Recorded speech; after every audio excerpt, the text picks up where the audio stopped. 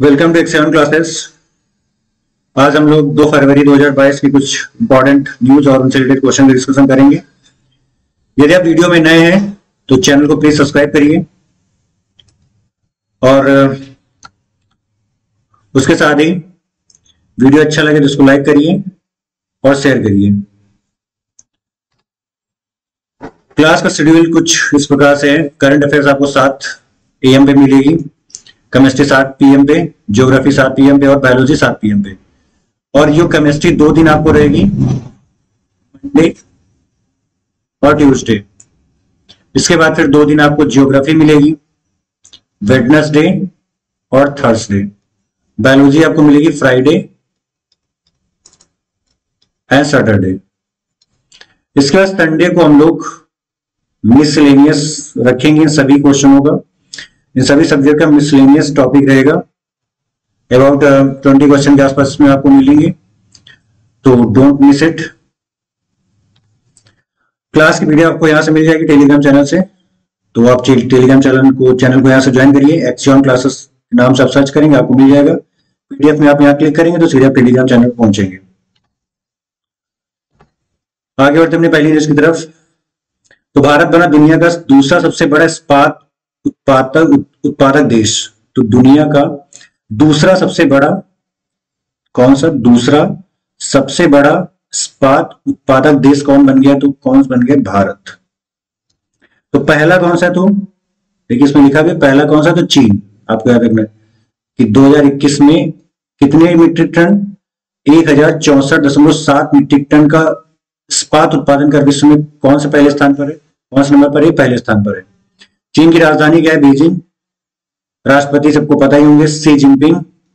और यहाँ पे करेंसी क्या जनती तो रेन मिम्बी रेन मिम्बी और भारत ने कितना उत्पादन किया तो 100 मीट्रिक टन किया, यानी सौ दशमलव तीन मीट्रिक टन के आसपास का उत्पादन किया। तो भारत दुनिया का दूसरा, चाइना पहला, पहले स्थान पर है।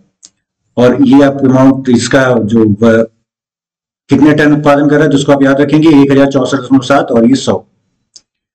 राष्ट्रपति और कैपिटल आपको पता होगी, करेंसी आपको याद रखनी है रेनमी बढ़ते नेक्स्ट क्वेश्चन की तरफ़ इंपॉर्टेंट अपडेट न्यूज़ है नासिक और देवास में S P M C I L security printing and minting corporation of India limited security printing and security printing and minting corporation of India limited ने स्थापित की है नई बैंक नोट प्रिंटिंग लाइन क्या स्थापित की इसने? नई बैंक नोट प्रिंटिंग लाइन तो security printing and minting corporation of India limited ने भारत के नासिक और देवास शहर में नई नोट प्रिंटिंग लाइन स्थापित करने की घोषणा की है। कहाँ पे स्थापित करने की घोषणा की है? तो नई ना, सॉरी नासिक और देवास में। भारत में बैंक नोट की छपाई और आपूर्ति के लिए वर्तमान में चार प्रिंटिंग प्रेस है। क्वेश्चन आपसे पूछा जा सकता है कि नोट छपाई के लिए कौन सी प्रिंटिंग प्रेस कितनी कहाँ कहाँ प्रिंटिंग प्रेस है? तो आपको याद रखना देवास, नासिक, मैसूर और एक है सागोनी एसपीएमसीआई के अध्यक्ष कौन है? तो तृप्ति पात्रा घोष। तृप्ति पात्रा घोष इसके अध्यक्ष हैं और इसकी स्थापना कब हुई थी? 2006 में। 2006 में। आगे बढ़ते हैं और नेक्स्ट न्यूज़ की तरफ़। पेटीएम मनी ने लॉन्च किया भारत का पहला बुद्धिमान संदेश वाहक पॉप्स तो किस कंपनी ने भारत का पहला बुद्धिमान संदेश वाहक लॉन्च किया? तो पेटीएम ने और नाम क्या उसका? तो पॉप्स पेटीएम के सीईओ कौन है? वरुण श्रीधर। याद रखना है आपको यहाँ से। मुख्यालय का इसका? बेंगलुरु में। इसकी स्थापना कब हुई? तो 2017 में। इसका फिर एसबीआई ने लॉन्च किया इंडिया आईनेक आईनेक्स पर अपना पहला फॉर्मोसा बॉन्ड तो आईनेक्स पर पहला फॉर्मोसा बॉन्ड किस बैंक ने लॉन्च किया? तो एसबीआई ने लॉन्च किया। इसके साथ ही शिक्षाविद सामाजिक नेता बाबा इकबाल सिंह का निधन हो गया। है तो बाबा इकबाल सिंह, जो एक सामाजिक नेता थे, उनका निधन हो गया। है और वो किस फ़ील्ड से? तो एक वो सामाजिक नेता थे और शिक्षाविद थे। इकबाल सिंह को सामाजिक कार्य के लिए क्षेत्र में उनके योगदान के लिए वर्ष 2022 में पद्मश्री से सम्मानित किया गया था। तो अभी इनको 2022 में ही अभी जो पद्मश्री अवार्ड घोषित किए गए उससे इनको सम्मानित किया गया था। और इकबाल सिंह ने वर्ष 2008 में intern internal university of university और 2015 में अकाल यूनिवर्सिटी और गुरु की काशी की स्थापना भी की है। तो आपको यार इंपॉर्टेंट बन जाता है ये एबिचुरी कि 2022 में इनको इकबाल सिंह को कौन सा अवार्ड मिला? तो पद्मश्री मिला हुआ है। और अगर ज़्यादा डीपली पूछ सकते हो तो इंटरनल यूनिवर्सिटी की स्थापना किसने की है? तो इकबाल सिंह ने की है। और कब की है तो 2008 में की है 2015 में उन्होंने अकाल यूनिवर्सिटी की स्थापना की है। इसके बाद ऑस्ट्रेलियन ओपन दो हज़ार इक्कीस टूर्नामेंट जो है, पुरुष साइकिल का खिताब किसने जीत लिया? राफेल नडाल ने। तो क्वेश्चन पूछा जा सकता है कि ऑस्ट्रेलिया है, ऑस्ट्रेलियन ओपन 2021 टूर्नामेंट में पुरुष एकल का खिताब किसने जीता है? तो राफेल नडाल ने जीता है।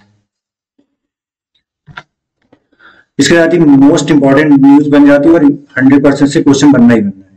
किरण बेदी ने लॉन्च की है फियरलेस गवर्नेंस पुस्तक। तो किरण बेदी ने कौन सी पुस्तक लॉन्च की है? तो आपको याद रखना है, किरण बेदी ने पुस्तक लॉन्च की फियरलेस गवर्नेंस पुस्तक।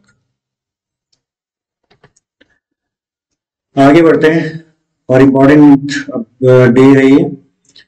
विश्व कुष्ठ रोग दिवस कब मनाया जाता है? तो आपको याद रखना है, तीस जनवरी को विश्व कुष्ठ रोग दिवस मनाया जाता है 2022 बीस जनवरी तीस जनवरी 2022 को मनाया गया है। हर साल जनवरी के आखिरी रविवार को विश्व स्तर पर विश्व कुष्ठ कुष्ठ दिवस मनाया जाता है। तो आखिरी रविवार को ही मनाया जाता है। आखिरी रविवार को मनाया जाता है विश्व स्तर पर विश्व कुष्ठ रोग दिवस। तो ये मनाया कब गया इस बार? तीस जनवरी को। तो आप कह रहे हैं कि जनवरी के आखिरी रविवार मनाया जाता है तो विश्व कुष्ठ रोग दिवस का मनाया जाता है? तेईस जनवरी को मनाया जाता है। आगे बढ़ते हैं। विश्व कुष्ठ रोग दिवस 2022 की थीम क्या है? इंपॉर्टेंट क्वेश्चन है यूनाइटेड फॉर डिग्निटी रखी गई है। इसकी शुरुआत कब हुई थी? तो उन्नीस चौवन में थी फ्रांसीसी परोपकारी एवं लेखक राहुल फोलेरो ने महात्मा गांधी के जीवन को श्रद्धांजलि के रूप में, महात्मा गांधी के जीवन को श्रद्धांजलि के रूप में की थी, जो कि कुष्ठ से पीड़ित लोगों के लिए करुणा रखते थे। तो आपको इतना याद है? शुरुआत पूछा गया कि सिर्फ़ आपको उसकी थीम याद रखनी है और मनाया कब जाता है तो? जनवरी के आखिरी रविवार को। इसके बाद केंद्र सरकार ने लिया एक सौ केंद्र सरकार ने 150 गाँव को उत्कृष्ट गाँव में बदलने का निर्णय लिया है। और इसमें सहायता कौन सा देश कर रहा है तो आप क्या करना है इसराइल सहायता कर रहा है। कितने देशों को उत्कृष्ट बनाना है? 150 देशों को एक सौ पचास गाँव को उत्कृष्ट बनाने के लिए लिया है। इसराइल के साथ मिलकर। इसके साथ ही इसराइल की राजधानी जेरूसलम, वर्तमान प्रधानमंत्री कौन है? तो नेफ्ताली बेनेट। और मुद्रा क्या तो इजरायली सकेल। हॉकी महिला हॉकी महिला एशिया कप में भारत ने कांस्य पदक जीता है। इंपॉर्टेंट है। क्रिकेट आप लोगों को याद याद रहता है। और हॉकी में महिला महिला जो टीम है, उसने कांस्य पदक जीता है। तो क्वेश्चन बनेगा, क्योंकि ज़्यादा इसको पढ़ते भी लोग नहीं है। इंपॉर्टेंट क्वेश्चन बनेगा इससे। तो हॉकी महिला एशिया कप किसने जीता है? कांस्य पदक किसने जीता भारत ने। या फिर पूछ सकते हैं कि भारत ने हॉकी महिला एशिया कप में कौन सा पदक जीता है? तो कांस्य पदक जीता है। से अधिक हॉकी महिला का विश्व चैंपियन में कौन सा पदक जीता है? ओमान मस्कट में हॉकी मिला एशिया कप चैंपियनशिप आयोजित कराई गई थी। तो ये आयोजित कहा गई तो आपको याद रखना है ओमान में। ओमान के मस्कट में इसको आयोजित किया गया था। तो आयोजन कहा हुआ था? तो ओमान मस्कट में भारतीय महिला हॉकी टीम ने कौन सा पदक जीता तो कांस्य पदक जीता है। आईसीसी ने जिम्बाब्वे के पूर्व कप्तान ब्रेडन ट्रेलर पर लगाया तीन साल का प्रतिबंध।